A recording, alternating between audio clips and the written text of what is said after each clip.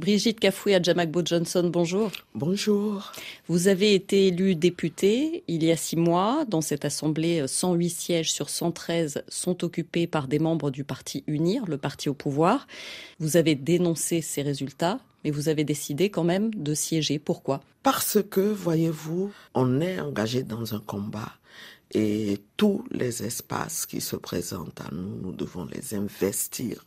J'y suis pour continuer à leur dire, le peuple n'est pas d'accord avec ce que vous faites, le peuple n'accepte pas ce coup d'État constitutionnel par lequel vous avez installé la Ve République et je ne ferai rien pour aider à mettre en place les institutions de cette Ve République. Mais donc, une fois que les institutions seront en place, vous ne jouerez pas le jeu de ces nouvelles institutions? Je ne contribuerai pas à la mise en place de ces institutions. Je dénoncerai au contraire.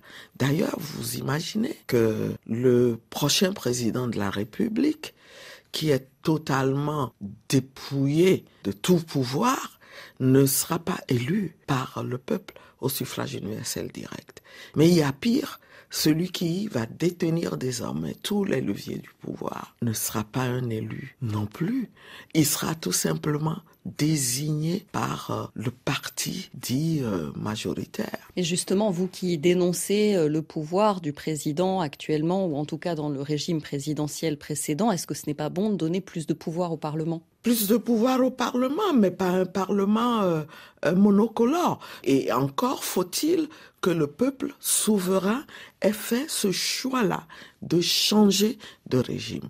Or, vous interrogez les Togolais aujourd'hui, ils vous diront, pour nous, notre problème aujourd'hui, ce n'est pas de changer de régime politique, mais c'est de faire en sorte que notre pays soit gouverné démocratiquement. Cette fois, on n'a pas vu de mobilisation des Togolais dans la rue pour dire non à ce changement de constitution. Comment vous l'expliquez? Vous avez raison. Je l'explique tout simplement par le fait que les Togolais ne veulent pas. Ils savent très bien que, en voulant manifester, ils vont se faire massacrer.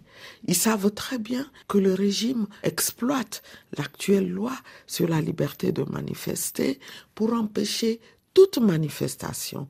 Et vous pouvez voir l'exemple de ce qui se passerait si les Togolais descendaient à nouveau dans les rues avec ce qui s'est passé le 29 septembre. Donc le 29 septembre, vous aviez organisé une réunion au siège de votre parti en présence du député sénégalais Guy Marius Sagna, qui est aussi député de la CDAO, qui était là dans le cadre de son travail au sein de la CDAO. Mmh. Et la réunion a été interrompue par des violences. Plusieurs personnes ont été blessées. Est-ce que vous savez où en est l'enquête aujourd'hui, un mois et demi après? Eh ben, Ce que nous savons, c'est que l'enquête a démarré. On nous a demandé de collaborer, ce que nous avons fait en bon citoyen. Donc, euh, nous avons fourni une liste de personnes qui ont été auditionnées. Aujourd'hui, on attend les résultats de ces enquêtes, mais nous demandons plutôt que ce soit des enquêtes internationales qui soient menées. Nous voulons savoir ce qui s'est passé. Il est temps que l'impunité s'arrête au Togo. Si je reviens sur votre décision de siéger à l'Assemblée nationale, il y a d'autres partis d'opposition qui ont fait un autre choix l'ANC de Jean-Pierre Fabre, par exemple. Est-ce qu'il y a eu, entre les partis d'opposition élus à l'Assemblée, une concertation Est-ce que vous avez essayé de vous mettre d'accord sur une ligne à suivre? Euh, Oui, il y a eu une concertation, mais bon, euh, ses collègues ont décidé d'utiliser plutôt cette stratégie pour dénoncer ce qui s'est passé. Et je pense que l'essentiel, c'est que nous soyons tous d'accord pour dénoncer et que nos stratégies convergent à obtenir le changement que nous souhaitons. Le pouvoir togolais dit souvent, quand il parle de l'opposition, que l'une de ses faiblesses, c'est de ne pas savoir s'entendre. Est-ce que ces divisions, ou en tout cas ces postures un peu différentes, ça ne leur donne pas raison finalement? Pas du tout, pas du tout, parce que si cette division de l'opposition l'affaiblissait vraiment, le pouvoir ne déploierait plus aucun effort pour biaiser les résultats des élections. La division interne à l'opposition est l'affaire de l'opposition. Nous y travaillons. Ça ne peut jamais être l'affaire de notre adversaire. Après les élections, vous avez déposé des recours, vous avez contesté des résultats? Absolument, nous avons déposé euh, au moins une douzaine de recours mais ces recours ont été balayés. On les a déposés un certain vendredi